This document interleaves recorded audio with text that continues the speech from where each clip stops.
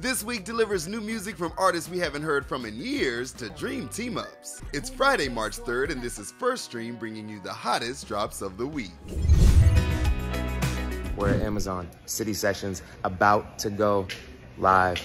Ben is dropping. We're about to play. Macklemore has dropped his highly anticipated third solo album, Ben.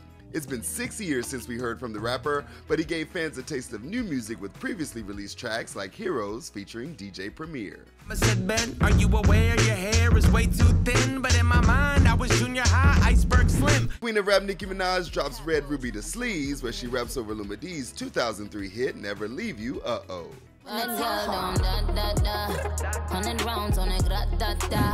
J. Cole and J Hope are the team up we didn't know we needed. The two dropped their new track, On the Street. The K pop superstar has cited J. Cole as one of his all time favorite artists. Every time I work, every time I run, every time I move. Morgan Wallen's whopping 36 track album, One Thing at a Time, has finally arrived. Two songs from the album currently top Billboard's country airplay and hot country songs charts. Thought You Should Know and Last Night.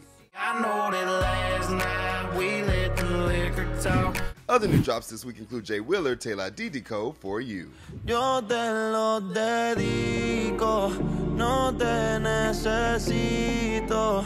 Jimmy Allen's cover of the Rolling Stones' Miss You. Ah, ah,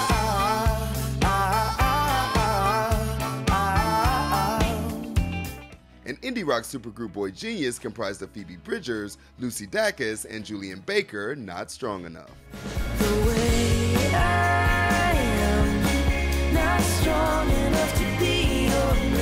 For all your latest music drops, head to Billboard.com. This is Billboard News.